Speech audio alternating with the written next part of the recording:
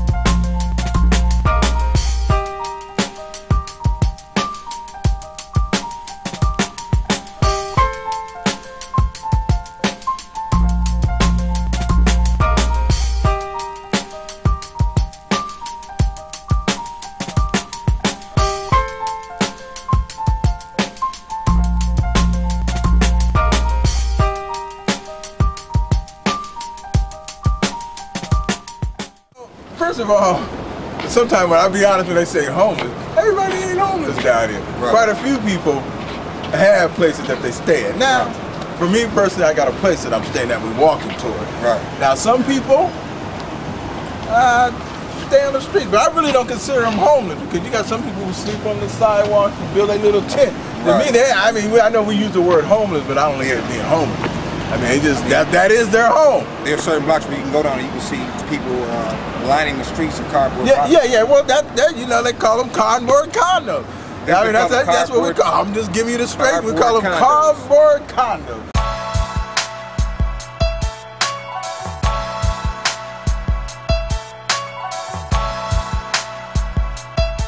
And a lot of people gonna see this and not understand how somebody, you know what I'm saying, as deep as a, you know, intelligent black man as you are, ended up in the situation that you're in.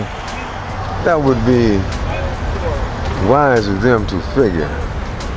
Do they really know the situation I'm in? Right. I mean, you know, like I say, there are a lot of people that are down here that have, according to popular belief, no reason to be down here. Right. But I find that human, do, human beings do very little things without reason. I mean, there's a reason. It may not make sense, Yeah. but there's a reason. And you know, as long as it makes sense to them, they have justification.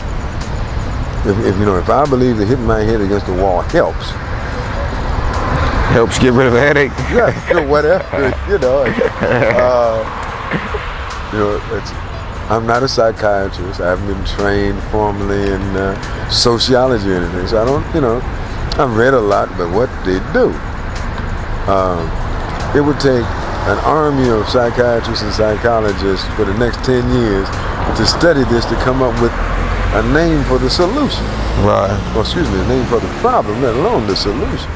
There may be something they can do. I refuse to believe that so many smart people, much smarter than myself, can be assembled in one place and knowing the problem and not come up with a solution that works better than this. A, a, a sort of coexistence with terror. So they will give you uh, what I call the white man's cure for everything. They'll throw money at the problem. Right. So they give you GR, they get little cheap spots for you and all that kind of stuff.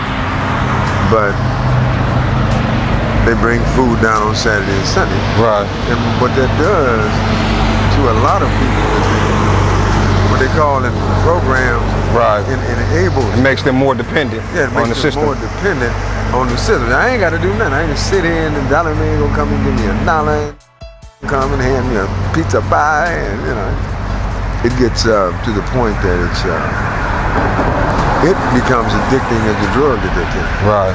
I mean, as far as like the level of violence out here, man. I mean, it's like, you know what I'm saying? You It's here not- in the midst of it every day. It's not as permanent, but it happens every day. Somebody Right. gets hit in the head with something every day. But as far as death and murder and rape and all that, All know, that happens every day. all that happens every day. Every day.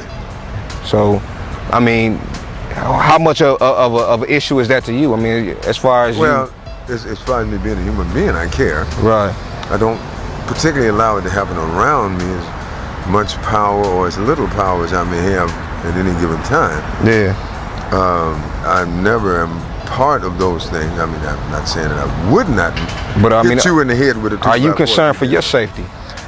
No. I mean, that's what I'm That saying. is- uh, well, I've been in.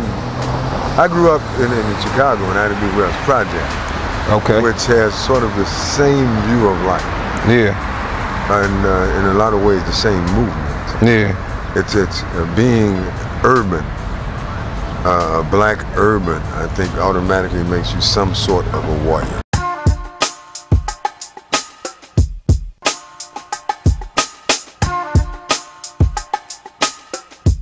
What percentage uh, of the population out here would you say is uh, uh, black? Let's let's say black men compared to. I, I would say the majority. Majority. I, I would say I, I, I'll just leave it. I can't give you no percentage. I don't want to go with numbers. I can, but I can say the majority.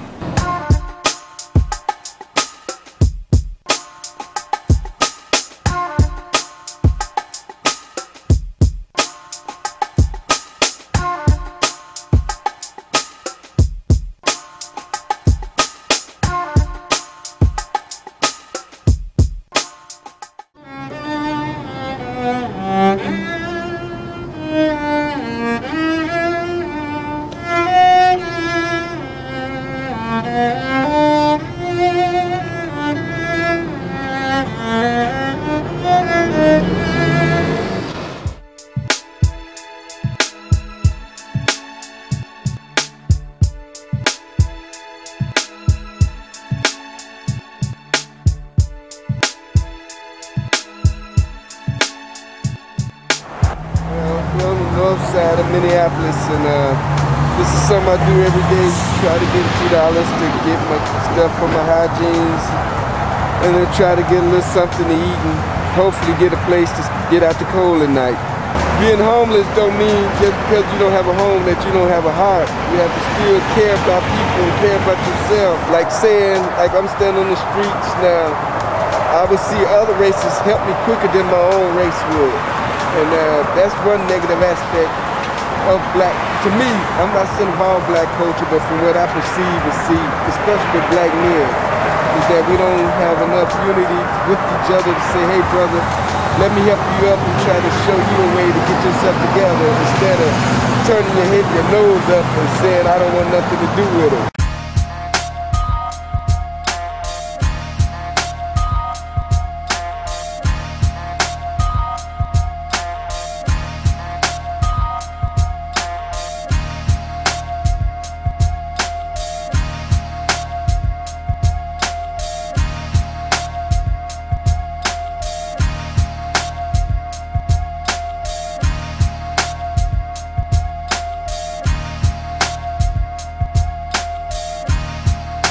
They're running from something, trying to find something, ain't got a damn clue, and uh, pretty much put themselves in a very dangerous situation. If you do not believe in Satan, and you do not believe in God, if you do not believe in good and evil, come to Skid Row and you will see the line dramatically drawn. It's Broadway. Broadway is the light. Once you pass Main Street, you're in the darkness. people from them buildings up there are one paycheck away from being homeless. Exactly. A lot of us are. Right. So, you know, I mean, this could be anybody out this here. could be anybody.